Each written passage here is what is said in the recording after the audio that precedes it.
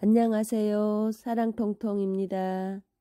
오늘은 하루에도 우리가 몇 번씩 사용하는 치약에 대해 양을 얼만큼 사용하고 자기에게 맞는 치약 선택 방법에 대해 같이 한번 알아볼까요?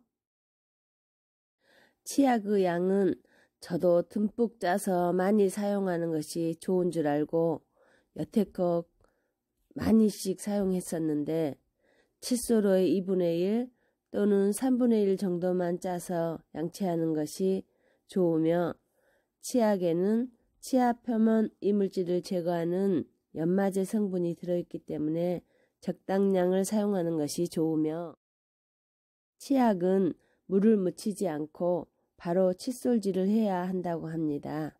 저도 항상 물을 묻혀 사용했는데 올바른 사용 방법이 아니었네요. 식품의약품 안전처에서도 칫솔에 물을 묻히지 않는 것을 권장한다고 합니다. 물을 묻히면 치약 속 연마제가 희석되어 세균, 음식 찌꺼기, 치석 등이 깨끗이 제거되지 않고 입안 가득 거품이 많이 난대요. 양치 후 물로 10번 이상 깨끗이 입안을 헹구고 가급적이면 따뜻한 물을 사용하면 입안이 더 개운하고 상쾌해진답니다. 10번 이상 헹궈야 치아 착색도 막고 살균 효과도 좋으며 입안에 치, 치아 성분이 남지 않도록 여러 번 헹구는 것이 좋겠죠. 치아 상태에 따라 치아 선택하는 방법 알아볼게요. 치약 성분은 포장지를 보면 식품 의약품 안전처로부터 효능을 인증받는 유효 성분란이 있습니다. 그것을 확인해 보고 자기에게 맞는 치약을 선택해 보세요. 충치가 잘 생기는 경우에는 충치 예방에 중요한 치약 성분은 불소입니다. 불소는 치아 표면을 단단하게 만들어 충치균으로부터 치아를 보호하는 역할을 한다고 합니다.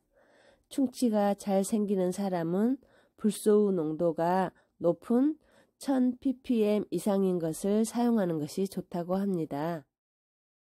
커피나 담배 등에 의해 착색 제거, 미백이 필요한 경우에는 가사나 수소수가 든 치약을 선택해 사용해 보세요. 가사나 수소수가 입안에서 분해되어 오염 물질을 퍼벽시키고 치아를 희게 만들어준대요. 이가 시리고 민감한 경우에는 마모도가 낮고 시린 증상을 안화시켜주는 성분인 인산칼슘, 질산칼륨, 염화칼륨이 들어있는 치약을 선택해 보세요. 미백 치약은 시린이를 악화시킬 수 있어 가급적 피해야 한다고 합니다. 잇몸 질환이 있는 경우 염증 완화에 도움이 되는 염화나트륨, 비타민 E, 비타민 B6, 알란토인, 아미노카프론산이 함유된 치약을 사용하는 것이 좋습니다. 양치는 보통 하루에 4번 아침, 점심, 저녁, 자기 전 하는 것을 권장하고 있습니다. 그동안 습관적으로 아무 치약이나 사용하셨다면 이번 기회에 치약에 대해 세심하게 살펴보고 자신에게 꼭 맞는 치약 선택을 하여 치아 관리하는데 조금이나 보탬이 되었으면 합니다.